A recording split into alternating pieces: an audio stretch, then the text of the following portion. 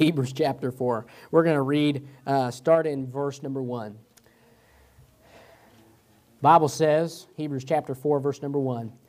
Let us therefore fear, lest a promise being left us of entering into his rest, any of you should seem to come short of it. Let's pray. Heavenly Father, Lord, sure do love you. Lord, I pray that you'd bless now the service, Holy Spirit of God, as I prayed last night. God, I beg you that you'd be with us, Holy Spirit. You said where two or three are gathered in my name, that there you are in the midst. Lord Jesus, I love you very much. And Jesus, I know I deserve to be in hell. But thank you, Jesus, for loving me.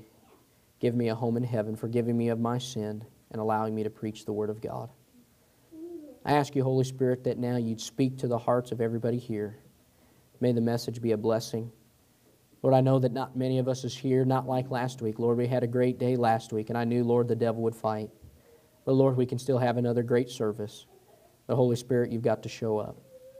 Holy Spirit, you've got to be here with us. You've got to make your presence known. I pray that you'd help each and every one of us to listen attentively, to give ear to the Word of God. May we listen, Lord, and learn something, God. May you speak to the hearts what you know that's needed. Holy Spirit, may it be your words and not mine. God, may you help me today to do the best that I can do. Lord God, I beg you. Oh God, we need your help. America needs to be changed. Wichita, Lord, needs to be changed. People need to be saved. Lives need to be changed. And it starts in the house of God. God, I beg you. Please do a work that only you can do. In Jesus' name, amen. I had a different message prepared this morning, but last night I was praying and my wife was gone. And I was by myself, and the Holy Spirit changed my heart. And I want to preach to you a message today called So Close, but Yet So Far. So close, but yet so far. This chapter caught my attention. Look there in verse number one. It said, Let us therefore fear. Let us therefore fear. The fear in this chapter is not talking necessarily about a respect, but it is a fear in, in, a, in knowing that have a respect for God, but fear also as in be scared. Let us therefore fear. You need to realize fear. Why? Lest a promise being left us of entering into his rest. God left us a promise in today. God said, For whosoever shall call upon the name of the Lord shall be saved. Well, that's a good promise. That's a promise of entering into his rest. His rest there in that verse is talking about heaven. Heaven is an eternal rest to the believer. Boy, it's going to be a blessing, amen, when you get to heaven. You don't, there's no more work. I love work. I love to work hard, but I'm looking forward to one day getting just to sit and learn at the feet of Jesus. No more having to get up at 5:36 in the morning preparing for your day and having to worry and go to work and deal with the world and then come home and do all. You get to enter into an eternal rest. No more do you got to fight against the devil. No more do you got to worry about all these problems in this day and age. We have an eternal rest waiting for us. Boy, I'm excited about that. But then look, why should we fear? Not because we have a rest, but look, it says, because any of you should seem to come short of it. God says you need to fear because there are some that won't enter into that rest. Is this saying that there are some that will may enter but can't because they fell short? No, God is saying there are some that will never be saved. Because look on verse 2, he says, For unto us was the gospel preached as well as unto them. So he said there's some that are going to fall short of that rest, and the same gospel that was preached to us was preached to them. But the word preached did not profit them, not being mixed with faith in them that heard it. So you see the difference. The difference is there are some that are going to enter into that rest, and there are some that will come short. Why did they come short? They had the Word of God, but they didn't have faith. They had the church, they had the Word of God preached to them, the gospel was given, but they didn't have faith. See, the difference between us One day when you get to enter into that rest is because the gospel was given to you and then it was mixed with faith. This is so true of many young people that are friends of mine that grew up in church. And they know they're not saved. You know why? They were in church their entire lives. And they heard the gospel preached. But they came short because they did not mix it with faith. They were so close, but yet so far. Let me tell you, it's the same with people in Wichita. We have the gospel. And for us as Christians, we're to go and give people the gospel. People right across the street, people right across the alley, people right behind us. They're so close to the gospel. But so far, why? They don't have faith. Part of that's our fault. We're not telling people the gospel. They can't believe in somebody they've not heard. They're so close, but yet so far. The children of Israel, this is a comparison to them as we read a little bit farther. The children of Israel, God took them and He had them wander through the wilderness. And they were going to get to the wilderness, to the land of Canaan. Canaan was their rest, the Bible says. The land of Canaan was the land of promise. For the Christian, it's a picture of heaven. And they got right to the door of Canaan. They got right there. And God says they did not enter because of unbelief. Look there, verse 6 says, Seeing therefore it remaineth that some must enter therein, and they to whom it was first preached entered not in because of unbelief. Boy, there's many that are right there at the door. There's many right there at the door of heaven. Many right here in Wichita that are right there at the door of heaven. They're so close. But God says because of their unbelief, they fell short. Well, I was burdened last night because I said, God forbid that people die and burn in hell because of a pastor like because of a pastor like myself that I'm not filled with the Holy Spirit of God, that I don't allow God to use me to help people mix the gospel with faith. I'm so burdened because there's so many people. I got to see one saved yesterday evening. I was going and making a visit and I met Evan. Evan was a funny guy. He was moving, he had this curly long hair. I mean, looked like this big old mop. I mean, it was just so thick. I was like, wow. Then he had this big beard, and I was talking to him, and I, and I gave him the gospel, and Evan got saved. And I said, buddy, I said, guess what? I said, you asked Jesus to come in your heart. I said, God just gave you eternal life. He goes, yes. it was funny. I said, God just gave you eternal life. He goes, yes. He got a big old smile. Some people are so close. They're right there at the door. They're right across the street. They're right down the road. They're in the same zip code as we are, and they're so close, but yet so far. Can I tell you today, we've got to be burdened about the gospel. We've got to be burdened. Because look there, verse 7, it says, Again, he limiteth a certain day, saying in David, Today, after so long a time, as it is said, Today, if ye will hear his voice, harden not your hearts. Or the gospel needs to be given today. Boy, the gospel needs to be out there today. People need to trust Christ today. Today they need to know. Today they've got to trust Jesus. Why? Because hell's coming. Don't harden your hearts to the gospel. People in Wichita, listen to me. Don't harden your hearts. People that when we go soul winning to, I pray and pray, pray and beg God they'd soften their hearts. Why? Because a day's coming where it won't be t- there, there won't be a chance says, Today, after so long a time, God's given people so long.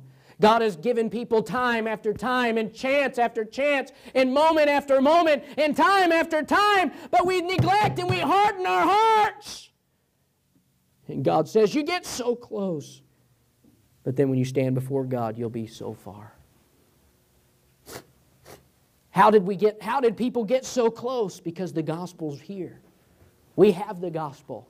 We've got the Word of God. Every, anybody can trust Jesus. Jesus said, I'll take anybody. Amen. The gospel's here with us today. We have the Word of God. Wichita, listen, the gospel's here. And everybody, we're so close. But what's so far? Because we've not mingled it with faith.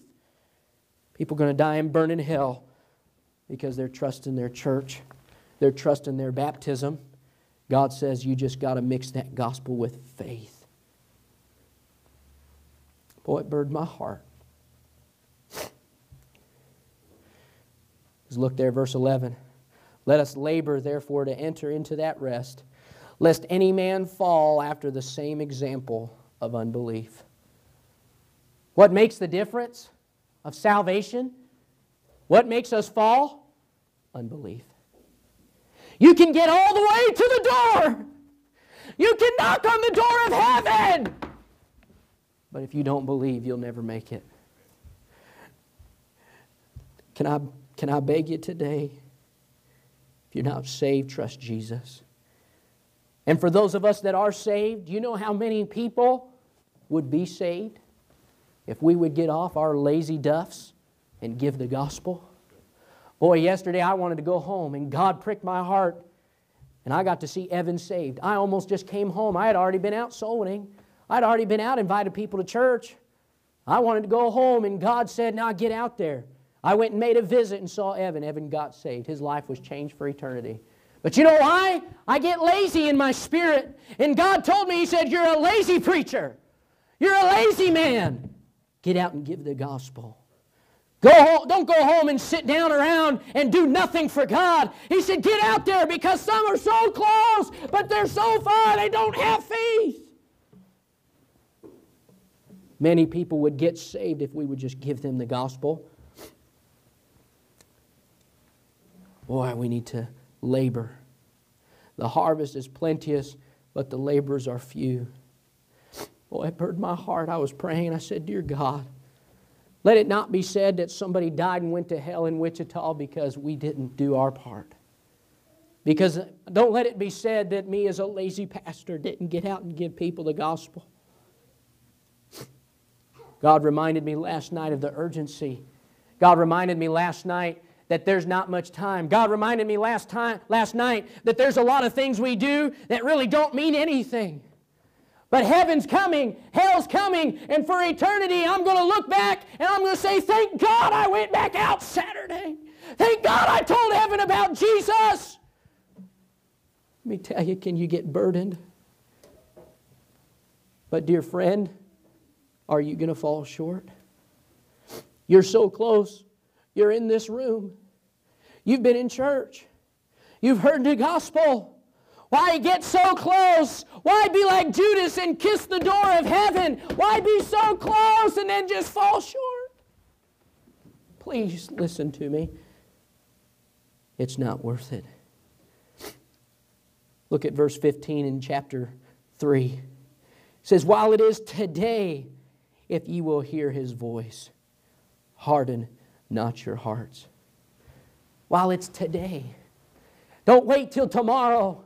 Don't wait till the next day. Don't wait till the week after. Don't wait till next year. While it's today, the Bible says. Today get saved. Amen. Don't wait. Don't harden your heart. Don't say, well, God, I don't know yet. Well, God, I've got questions. Just give it all up and believe and trust Jesus. Mingle it with faith today. Verse 16, for some when they had heard did provoke, howbeit not all that came out of Egypt by Moses.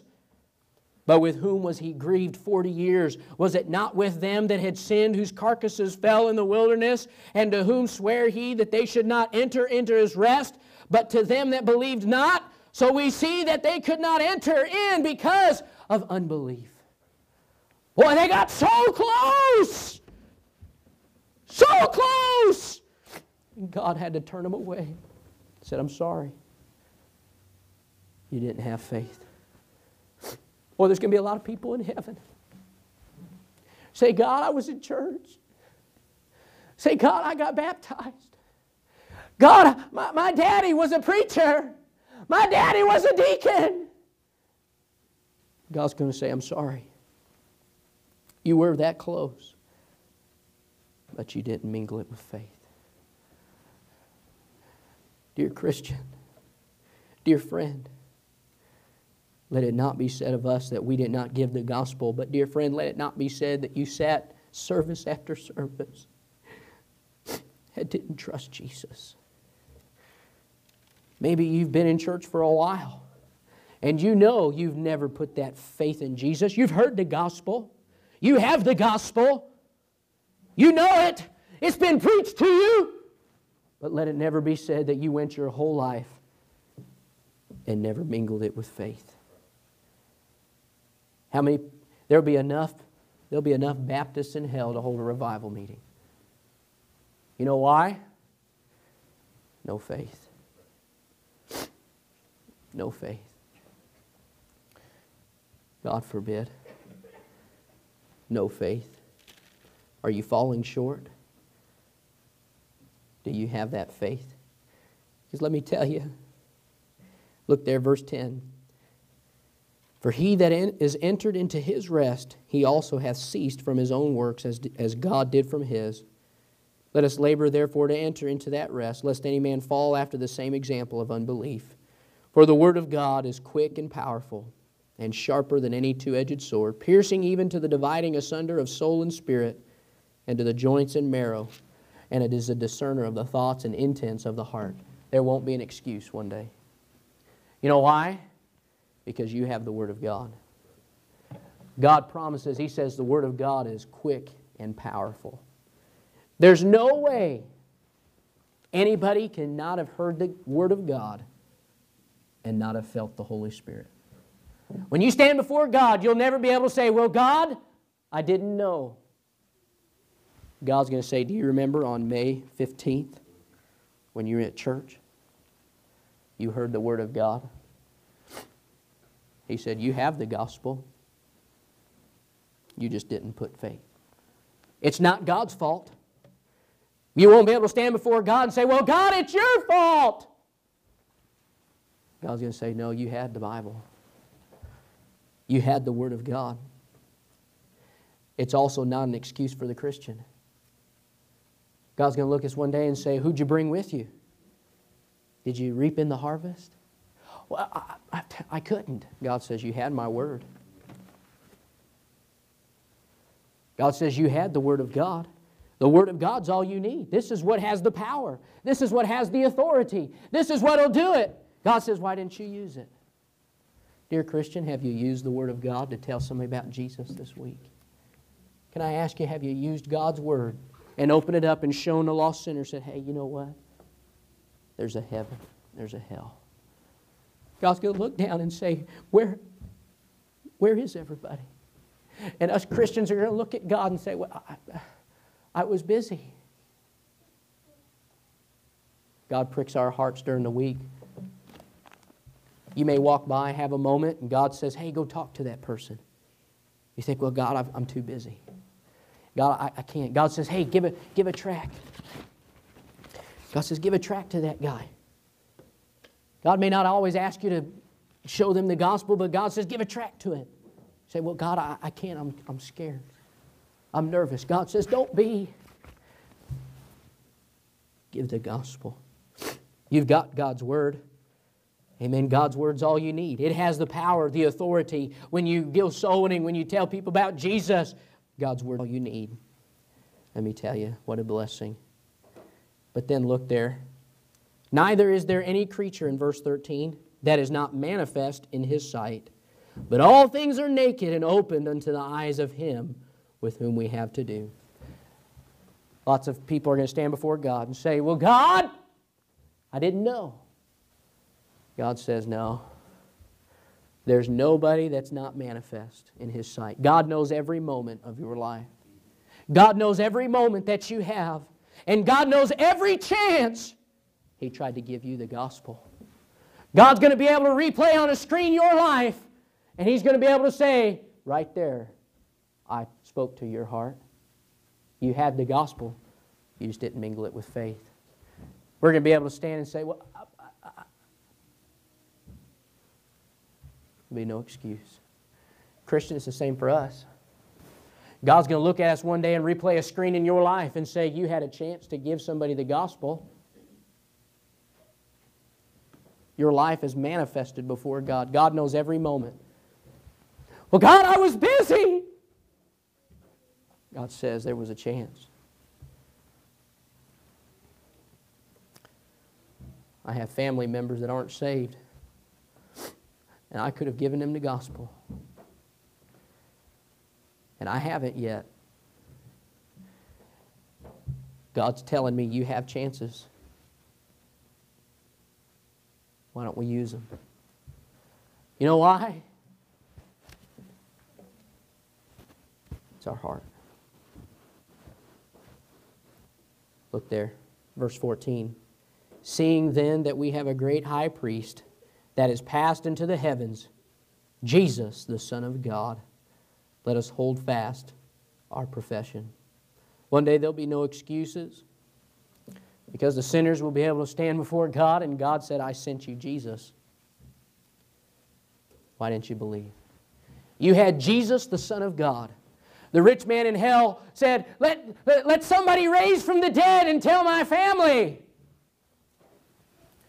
God says, if they don't believe now, they'll never believe. Jesus came, He died, He's the Son of God. You say, Well, I don't know about Jesus. God says, I sent Him. I gave Him to you. What more did you want? God gave you the greatest gift. What more could you ask for? But you know, for the Christian, stand before God, and you're going to have to look over on the right hand of God, and you'll see your Savior.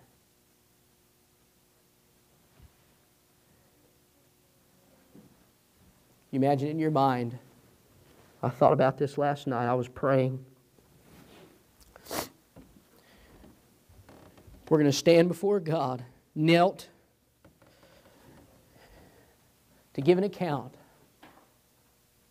And you're going to look over and see the Savior of the world. And we didn't have time. Sinners are going to kneel before Jesus and say, Oh, I didn't have time to trust him. Jesus took everything he had, put it aside, came to this world, and we can't trust him we won't trust him. I know you did all that. I know you died for me, Jesus, but I just couldn't do it. And the Christians are going to stand before God. And one by one, people are going to be cast into hell. We're going to watch, and God says, You could have talked to them. Say, but God, I, I, I, was, I didn't have time. And then you're going to look at Jesus, and you're going to have to tell Jesus face to face, I, I, I didn't have time. Jesus said, I made time for you. Well, God, I, I, I was busy. Jesus said, I wasn't too busy for you.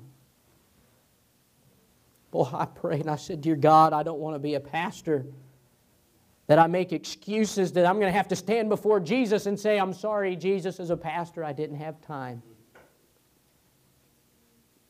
Well, I don't want to have to say that. Because look, for we have not an high priest which cannot be touched with the feeling of our infirmities, but was in all points tempted like as we are, yet without sin. Realize Jesus faced every problem you face, but without sin. So you'll not be able to stand before Jesus and say, Well, you don't know how I feel. You don't know what I went through. The Bible says he was tempted in every point just like you. He faced every problem you've ever had. Jesus is just going to take, take his hands and say, I know what you went through. You don't know what I went through. Dear Christian, do you love Jesus today? Do you love the Son of God? If so, look at that challenge at the end of verse 14. Let us hold fast our profession. Hold on to it. Don't let it go of Jesus. Don't let Jesus go. Hold on to what you believe. Hold on to the church. Hold on to God's word. Don't let the devil come and steal from you,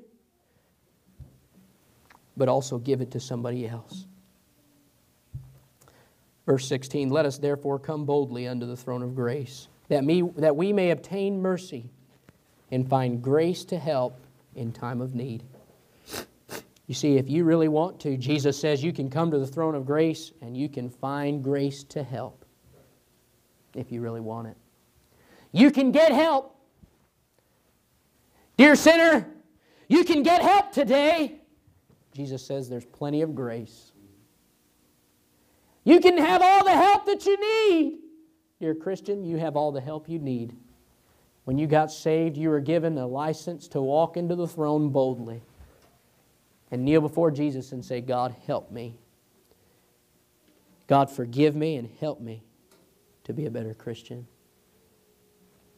You have all the help you need. The only reason we don't grow, the only reason we don't love God, the only reason we don't win people to Jesus, why? We just don't care.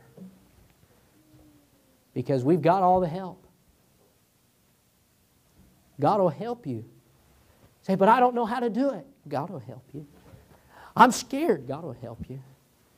I don't know if people will listen. God will help you.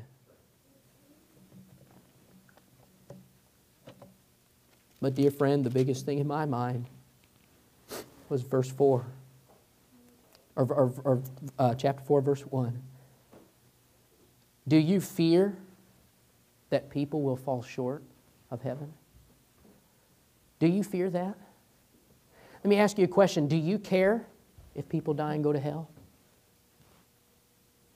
Listen to me. Do you care if that person across the street from you burns in a devil's hell for eternity? If they spend eternity in a lake of fire and brimstone where the worm dieth not? Do you care if your family member burns in hell?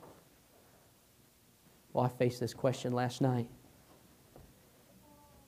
God asked me, Do you go soul winning because you have to? Do you go soul winning because you care? See, there's a lot of things we do because we have to. But do we do it because we care? Do you worry that somebody's going to sp- spend eternity in hell? Dear sinner, are you worried today that you'd have to spend eternity in hell? Maybe you know I've not mingled it with faith. Are you not the least bit scared that hell would be your home?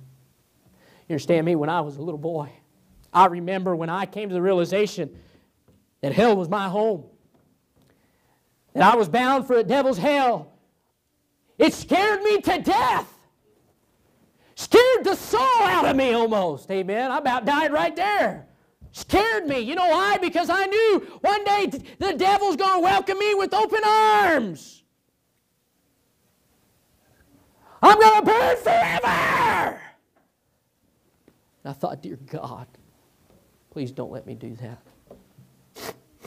I begged Jesus to save my soul. You ever been there? You realize you're bound for a devil's hell. Well, let me tell you, this scare the daylights out of you. And if it doesn't, something's wrong with you. If the devil's hell don't scare you, something's wrong with you. Scared me to death. But then it should scare us as Christians. Should scare you to think they're going to go there. Boy, I'm saved, praise God, but what about them?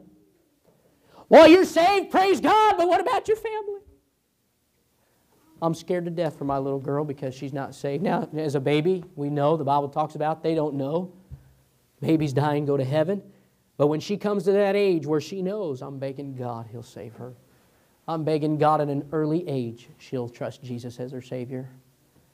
Scares me to death. I said, Dear God, I prayed for my family first. When's the last time you prayed for your family? Listen, Christian, when's the last time you begged God on your knees to save your family? When's the last time you begged God and said, Dear God, I can't go see them. I can't witness to them. They're all the way across the ocean. They're all the way across the country. They're, they're even next door to me. But God, you've got to work on their hearts. Dear God, save them. When's the last time you prayed for your family? When's the last time you prayed for your friends? Some of you have friends you know are going to die and go to hell. When's the last time you prayed for them? When's the last time you begged God to soften their hearts? Well, you listen to me. A lot of people are going to die and go to hell because a Christian did not fear. Let us therefore fear. You didn't fear. Hell doesn't scare you enough to tell somebody about Jesus. Hell doesn't scare you enough to tell your boss when you have time. Hell doesn't scare you enough to tell your friend when you have time. Hell doesn't scare you enough to tell your family when you have time. And hell doesn't scare you enough to get saved when you have time. Some of you know you're not saved. Listen to me, I can look, and some of you know. I don't know who you are. God knows. But some of you know in this room you're not born again. It ought to scare you to death. It ought to scare you so much that you'd, you'd come to this old fashioned altar and let me show you how you could be saved. It ought to scare you so much that you'd go home and beg your mom or dad, show me how to be saved. The problem is, in America, we've got so used to watching all these movies. We've got used to watching all this junk, and our minds are filled with everything else. We don't even realize what's real. We don't even know reality anymore. You listen to me. Nothing's more important in this service right now than for you to listen to the Word of God. We've got to be careful. We've got to fear. God burdened my heart last night, and I'll be done. I won't take up all. I, won't, I, have, I promised God I would, I would not take up all that time. But listen to me. I was praying last night. God changed my heart and said, "You know what? Do you care? Do you fear?" Some of us don't fear today. Do you care about souls? Do you care about your soul? If you died, would you spend eternity in heaven? Oh, God, help us. Get saved today if you're not saved. Let me tell you, I was scared to death last night. I said, God, don't let it be because I did not give the gospel that somebody didn't get saved that came to this church. Don't let it be that somebody sat in this auditorium and heard the gospel and did not mingle it with faith. But dear Christian, don't let it be that somebody went to the gospel or somebody went to hell because they didn't hear about it from you. You have a personal responsibility. A personal responsibility to tell somebody else. I'll stop every other program this church has. We'll stop every other fellowship if we have to till we get a mind to be soul winners. You know why? Because nothing else is going to get people and save them from an eternal hell. Nobody's going to go to hell because of birth, or nobody's going to go to heaven because of birthday cake. Now I love it, love it to death. I have problems with birthday cake, but I'd rather us go soul winning. Now I'm all for having time for everything. But I'll say this if, a ch- if our church ever gets to where we prioritize more a birthday and anniversary fellowship than we do giving the gospel, we'll stop having a birthday and anniversary fellowship. You know why? People are dying and going to hell. Do you understand that? Listen to me today. I don't think you understand. Do you understand people are dying and going to hell today? Listen, do you understand these things here? They don't matter. You understand this table here does not matter? It's going to be gone one day. You understand this, these things here are going to leave? They're going to be gone. Listen. I'll clean those up, Miss Miranda. She comes and cleans, God bless her. You realize these things are going to be gone one day? But people are going to die and burn in hell. You understand me? One day, this altar will be gone. You'll never have another chance to get saved. Maybe you're not saved today. You'll never have another chance. You know how you can tell if you're not saved? Pride. I don't need Jesus. I don't need that. I'll be fine on my own. You know how you can tell if you don't, want, if you don't care about souls? Pride. You say, somebody else will tell them. I don't have to go. I don't have time to go. Dear Christian, please, I'm begging you with me. I begged God last night. I'm begging you, please. I got on my knees before God. I'll get on my knees before you and beg you. People are dying and burning in hell in Wichita. You understand that? A million people. Somebody dies every 12 seconds. They're burning in hell. I beg you, be a soul winner. I'm not talking about just on Saturdays. I'm talking about every day when you have a chance. When God gives you an opportunity, tell somebody about Jesus.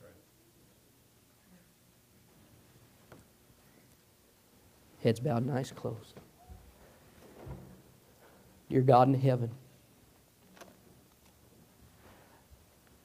Lord, you really moved on me last night. God, I'm not the soul winner that I should be, and I don't even care about souls like I should. I don't have that fear of God like I should. God, would you help us? Help us to fear, to be soul winners.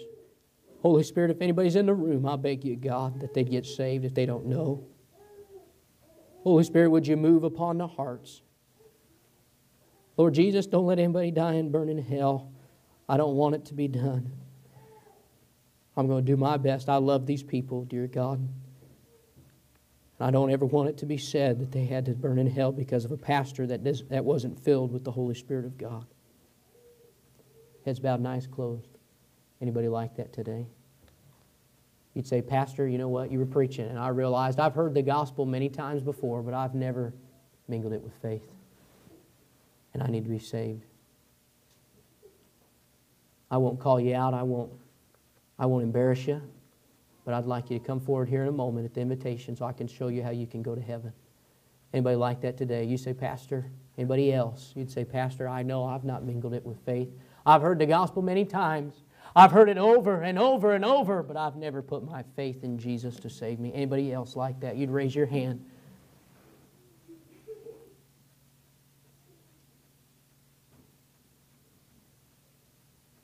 Anybody else? Young man, have a seat, please. Have a seat for me, please. Thank you. Heads bowed eyes closed. Anybody else? Most serious time ever. All right. Dear Christian, let's get busy about winning souls. Let's get busy about loving people. Boy, God pushed my heart this last week. I'm more concerned with a lot of things, and I wasn't concerned with souls. I was going to go home last night and take it easy. God burdened my heart. Has God burdened yours? Do you care? Let's be burdened. Let's take those tracts back there and let's give people the gospel. Heads bowed and eyes closed. We'll all stand. The invitation's open. You need to come forward. Do